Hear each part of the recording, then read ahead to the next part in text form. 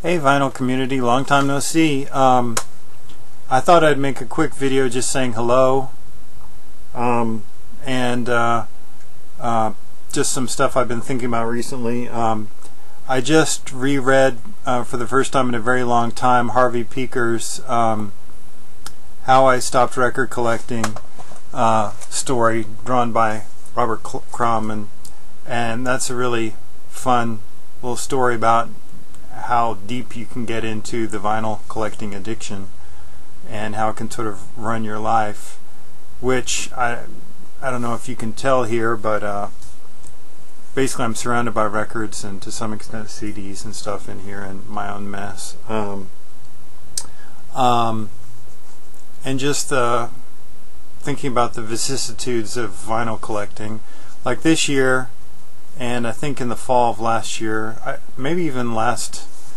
um, year, I uh, skipped record store day uh, because, I mean, I, I've found over the years that a lot of the things that I got on record store day, like a few months later, they would be cheaper than they were new in the store because stores are starting to mark up the record store day releases for collectible collector value and flipping value and uh, then when things don't sell as much as they thought then they start lowering them.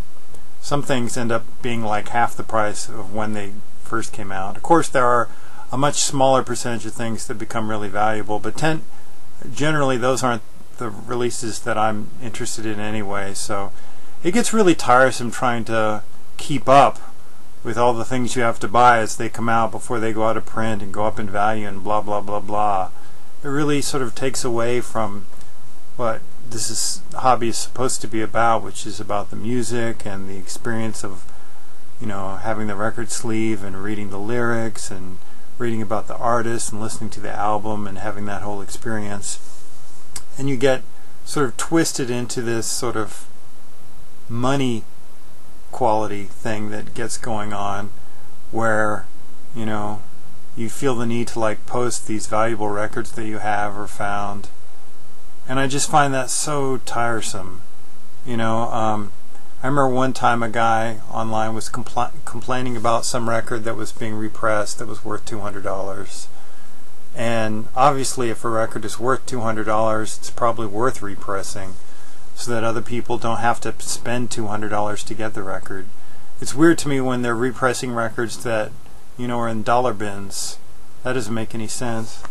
Anyway, um, also I met uh, Roger Coleman briefly on a road trip I had recently, and sadly we didn't have very much time to hang out, but it was nice to see somebody from the vinyl community in real life. Um, the Austin Record Convention is coming up soon, and I'll inevitably be drawn deep into its vortex. Um, uh, I need to, as usual, go through my records and try to get rid of some stuff to free up some money to be able to buy other records and to free up space. Um, you know, whenever I go to write something down or uh, say something, I find that what I had to say is basically just like one thing. And once it's gone, I'm like, why why did I do this if I was just going to write one little tiny little statement um, and then feel compelled to just dribble on and on? So for those of you who didn't get this far you know I'm sorry. For those of you who don't mind my angst-ridden blah blah blahs uh, here I still am. Um, I recently rewatched the documentary Vinyl by uh, I forget whether I think it's Alan Zweig. I'm pretty sure his last name is Zweig Anyway, that's super depressing because that's basically a guy mostly talking to a camera like this about how he feels that collecting vinyl is what's keeping him from having a happy life and being married and having kids, uh, which is sort of crazy. I mean, but it may be symptomatic. Well, it is symptomatic of a much bigger thing that's going on with his personality, obviously. But, uh, but yeah, there's something about the collector mentality that can sort of um, twist your drives. I mean, there's probably something about it that starts from something healthy and then becomes something unhealthy. And uh, uh, Harvey Pekar talks about that in that comic, which I recommend looking up. It's called how I stopped collecting records, how I quit collecting records and put out a comic book with the money I saved. Um, but he talks about how he collected things when he was young and then he got into collecting jazz records. And at first it was a healthy thing uh, and he would listen to the records and then he got sort of obsessed with collector value and he was buying stuff that he wasn't listening to or didn't have time to listen to or knew that he wouldn't listen to very much. And that's sort of when you know you have a problem. Um, and obviously there's some people who are who collect sleeves as much as they do the records or I mean, I'm sure there's some, there are definitely some people who don't even have turntables who buy vinyl for the uh, download codes and because they like the pretty colored vinyl and sleeves. I, I, I, don't blame them for that.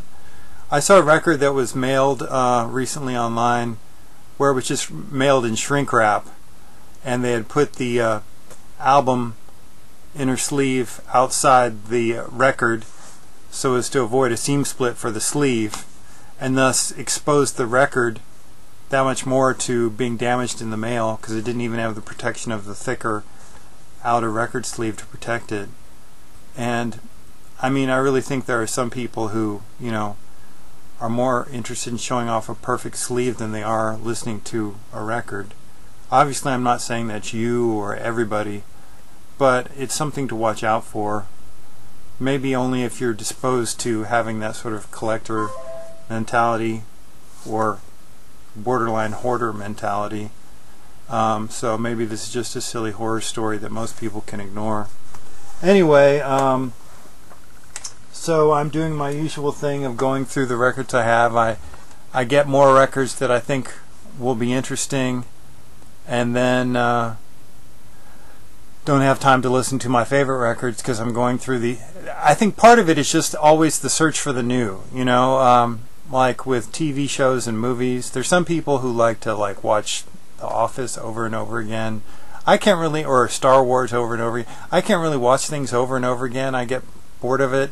I'm more drawn toward having new experiences over and over again. So I'm always drawn to finding new records because there are an infinite number of records out there uh, in every obscure niche you can possibly imagine. They are out there, so I'm looking for them.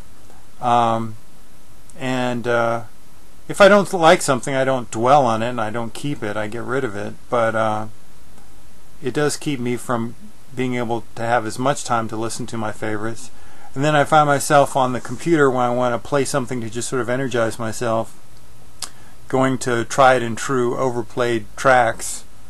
But there is something cold about that process. I don't know about the warmth of vinyl or whatever but uh, there's something about listening to the same tracks that you go to all the time because they work for you in some capacity to sort of energize you or make you feel something when you want to feel something specific.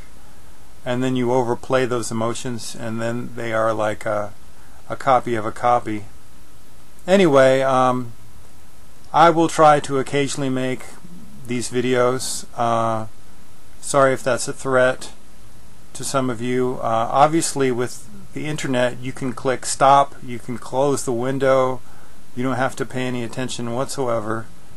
You can write mean comments down below, um, and I will take them to heart, and it will destroy my ego. Uh, my ego has been in many ways crushed down by the universe uh, a long time ago, so um, hopefully that hardens me to some kinds of name calling. Um, what else? It's summer already here in Austin, Texas. During the Austin Record Convention, it's going to be in the mid 90s. So if you're coming to Austin for the record convention, you have that to look forward to. I I fucking hate it. Uh, this summer, that is. My favorite month in Austin is in November, because even October it often hasn't cooled down to below the 90s yet. Um, anyway, uh, I could go on and on about less and less, but I'll try to give you a break.